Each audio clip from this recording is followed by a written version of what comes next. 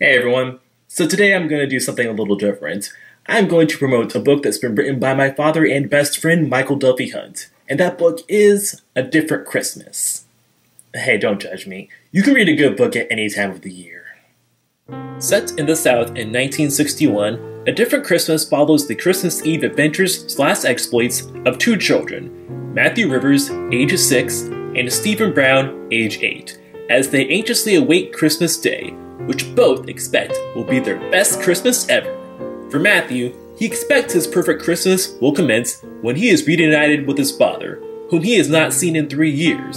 For Stephen, he expects Santa will reward him with the ultimate toy of 1961, an official triple secret agent Spike Murdoch spy case, especially since he has been very good for the last year and he even delivered gifts on Christmas Eve to the sick, disabled, and elderly, with his best friend, Terry Jenkins. When the bus carrying Matthew and his mother from Charleston to Baltimore crashes outside of Stephen's hometown of Raleigh, North Carolina, it sets in motion events that ultimately culminate in the boys meeting one another on Christmas Day, as their holiday expectations are dramatically altered.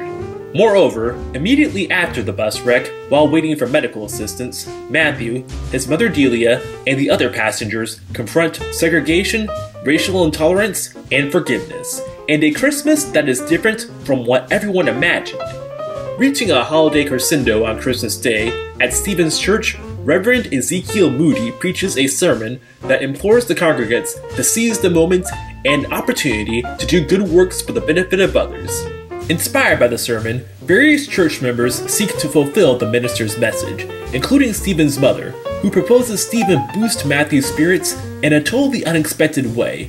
Aided by his mother and Carrie, Stephen discovers a deeper meaning for Christmas. As the novel concludes, the aftermath of the bus wreck highlights friendships forged during the tragedy and raises the hope of racial harmony in the future. For Matthew and Stephen, it had indeed been a different Christmas, but a good, memorable Christmas nevertheless. Available for purchase on Amazon and iBooks.